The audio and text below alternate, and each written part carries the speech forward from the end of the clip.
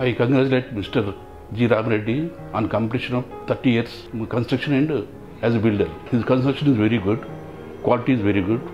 He delivers goods in, in a time. We have done one complex at uh, Bolaram having nine blocks plus amenities block.